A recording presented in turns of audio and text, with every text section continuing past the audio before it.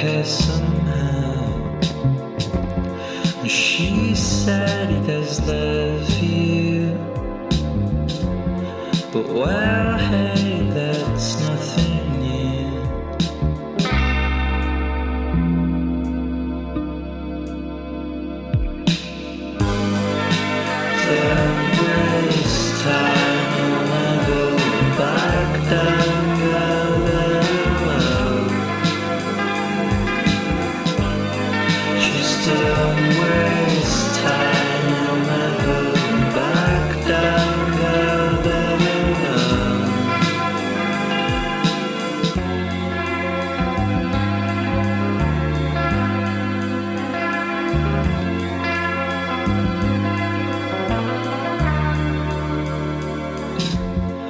I know that he won't see.